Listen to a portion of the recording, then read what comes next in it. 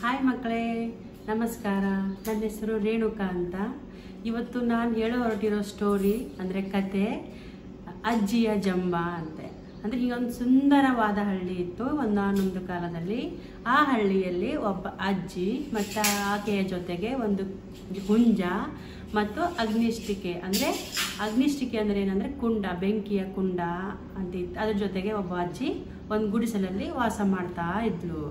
ಹೀಗೆ ಇರುವಾಗ ದಿನಾಲು ಅಜ್ಜಿಯ ಕೋಳಿ ಅಥವಾ ಹುಂಜ ಏನು ಇದ್ದ, ಬೆಳಗ್ಗೆ ಎದ್ದ ತಕ್ಷಣ ಸೂರ್ಯೋದಯ ಆದ ನಂತರ ಅದು ಕೋಳಿ ಎಲ್ಲ ಕೂಗಿ ಎಲ್ಲ ಜನರನ್ನು ಎಬ್ಬಿಸ್ತಾ ಇತ್ತು. ಎಲ್ಲ ಜನ, ಹಳ್ಳಿಯ ಜನರು ಎದ್ದು ಕೂಡಲೇ ಅಜ್ಜಿಯ ಮನೆಗೆ ಬಂದು ಅಗ್ನಿಷ್ಟಿಕೆಯಲ್ಲಿನ ಒಂದು ಬೆಂಕಿಯನ್ನು ತಮ್ಮ ಮನೆಗೆ ತೆಗೆದುಕೊಂಡು ಹೋಗಿ ಅಡಿಗೆ ಮಾಡಿ ಅಂದರೆ ಅಡುಗೆಯನ್ನು ಬೇಯಿಸಿಕೊಂಡು ತಿಂತಾ ಇದ್ದರು ಹೀಗೆ ದಿನಗಳಿಂದ ದಿನಗಳು ನಡೀತಾ ಹೋಯಿತು. ಹೀಗೆ ಇರುವಾಗ ಅಜ್ಜಿಗೆ ಒಂದು ಜಂಬ ಬಂತು. ಏನಪ್ಪ ಅಂದರೆ, ಆಹಾ, ಇಲ್ಲಿ ಎಲ್ಲ ಊರಲ್ಲಿರುವ ಎಲ್ಲ ಜನರು ನನ್ನ ಕೋಳಿ ಕೂಗಿದಾಗೆ ಎದ್ದೇಳ್ತಾರೆ. ನನ್ನ ಅಗ್ನಿಷ್ಟಿಕೆಯಿಂದಲೇ ಕುಂಡ ಬೆಂಕಿಯನ್ನು ತೆಗೆದುಕೊಂಡು ಹೋಗಿ ಅಡಿಗೆಯನ್ನು ಮಾಡಿ ತಿಂತಾರೆ. ಆದರೂ ಕೂಡ ನನಗೆ ಯಾರು ಅಷ್ಟೊಂದು ಸಲ್ಲಬೇಕಾದ ಗೌರವ ಸಲ್ಲಿಸ್ತಾ ಇಲ್ವಲ್ಲ? ನನಗೆ ಯಾರು ಅಷ್ಟೊಂದು ಸ, ಗೌರವ ಸಲ್ಲಿಸ್ತಾ ಇಲ್ಲವಲ್ಲ? ಈಗ ಈಗ ಈಗ ಏನು ಮಾಡಬೇಕು ಅಂದರೆ ಅಜ್ಜಿಯಲ್ಲಿ ಒಂದು ಯೋಚನೆ ಮೂಡುತ್ತೆ. ಆಹಾ, ನೋಡೋಣ, ಈ ಊರಿನ ಎಲ್ಲ ಜನಗಳಿಗೆ ಒಂದು ಬುದ್ಧಿ ಕಲಿಸೋಣ ಅಂತೇಳಿ ಮನಸ್ಸಿನಲ್ಲಿ ಅಂದ್ಕೋತಾಳೆ ಅವಳು. ಹಾಗಾದ ನಂತರ ಅವಳು ಒಂದು ದಿವಸ ಏನು ಮಾಡ್ತಾಳೆ? ಒಂದು ಮಧ್ಯರಾತ್ರಿಯಲ್ಲಿ ತನ್ನ ಕೋಳಿನ ತೆಗೆದುಕೊಂಡು ಮತ್ತು ಅಗ್ನಿಷ್ಟಿಕವನ್ನು ತೆಗೆದುಕೊಂಡು ಹೊರಡ್ತಾ ಹೋಗ್ತಾಳೆ ಊರಿಗೆ, ಬೇರೆ ಊರಿಗೆ.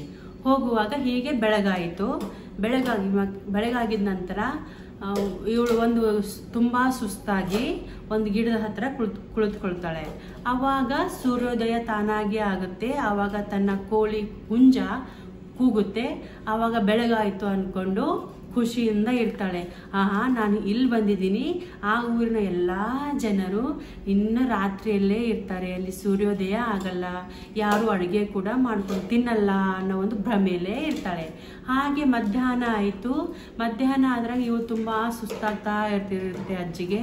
ಈ, ಹಾಗಿರುವಾಗ ಆ ಕಡೆಯಿಂದ ಒಂದು, ಆ ಕಡೆಯಿಂದ ಒಬ್ಬ, ಆ ಊರಿನ ಹುಡುಗ, ಆ ಊರಿನ ಒಬ್ಬ ವ್ಯಕ್ತಿ ಬರ್ತಾ ಇರ್ತಾನೆ. ಇವ್ ಅಜ್ಜಿಗೆ ತುಂಬ ಖುಷಿ. ಆ ಊರಿನ ಹುಡುಗ ನನಗೆ ಹುಡುಕೊಂಡು ಬರ್ತಾ ಇದ್ದಾನೆ. ನೋಡೋಣ, ಕೇಳೋಣ ಅವನಿಗೆ, ಏನು ಮಾಡ್ತಾ ಇದ್ದಾರೆ ಅಂತ ಕೇಳೋಣ ಅಂದ್ಕೊಂಡು ಏನ್ ನಿಂದ್ರಪ್ಪ, ಏನು ಮಾಡ್ತಾ ಇದೀಯಾ ಅಂತ ಕೇಳ್ತಾಳೆ. ಅಯ್ಯೋ ಅಜ್ಜಿ, ನೀನೇನು ಇಲ್ಲಿ? ಅಂತ ಅವನು ಯುವಕ ಕೇಳ್ತಾನೆ. ಅಯ್ಯೋ, ನಾನು ನನ್ನಿಂದಲೇ ಅಲ್ವಾ? ನೀವು ಊರಲ್ಲಿ ಎಲ್ಲ ಜನರು ಊಟ ಮಾಡೋ, ಅಡುಗೆ ಬೇಯಿಸ್ಕೊಂಡು ತಿನ್ನೋದು ನನ್ನ ಕೋಳಿ ಕೂಗಿದಾಗ ನೀವು ಎದ್ದೇಳೋದಲ್ವಾ? ಅದಕ್ಕೆ ನನಗೆ ಈ ಕಡೆ ಬಂದಿದ್ದೀನಿ. ನಾವು, ನಾ ಇದ್ದೇ ಇದ್ದರೆ ಏನು ಮಾಡ್ತೀರ ನೋಡೋಣ ಅಂದ್ಕೊಂಡು ಅಂತಾನೆ. ಅಯ್ಯ ಯುವಕ ಅಂತಾನೆ. ಅಯ್ಯೋ, ಹುಚ್ಚು, ಅಜ್ಜಿ ಎಂಥ ಹುಚ್ಚಿದ್ಯಾ ನೀನು?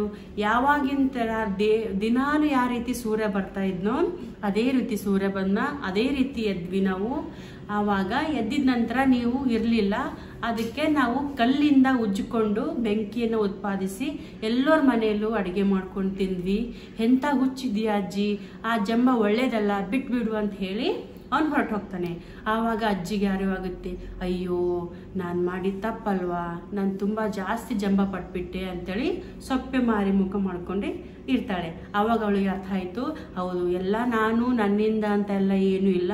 ನಾನು ಇದು, ಇರದೇ ಇದ್ದರೂ ನಡೆಯುತ್ತೆ ನನ್ನ ಜ, ಕೋಳಿ ಇರದೇ ಇದ್ದರೂ ನಡೆಯುತ್ತೆ, ಹೇಗೆ ಇದ್ರೂ ನಡೆಯುತ್ತೆ, ಅಂತೇಳಿ ಅವಳಿಗೆ ಅರ್ಥ ಆಗುತ್ತೆ. ಆವಾಗ ಅವ್ರ ಮನೆಯಲ್ಲೇ ಮನೆಗೆ ಹೋಗ್ತಾಳೆ, ಊರಿಗೆ ಹೋಗ್ತಾಳೆ. ಇದರಿಂದ ನಮ್ಗೆ ಏನು ಅರ್ಥ ಆಗುತ್ತೆ ಅಂದರೆ ಮಕ್ಕಳೇ? ಯಾವಾಗಲೂ ಜಂಬ ಪಡಬಾರ್ದು, ನಾನು ನಂದನ್ನು ಇರಬಾರ್ದು, ಎಲ್ಲನೂ ಪ್ರಕೃತಿ ತಂತೆ ನಡೆಯುತ್ತೆ ಅಂಥೇಳಿ ಅರ್ಥ ಆಗುತ್ತೆ. ಅರ್ಥ ಆಯ್ತಾ? ಬಾಯ್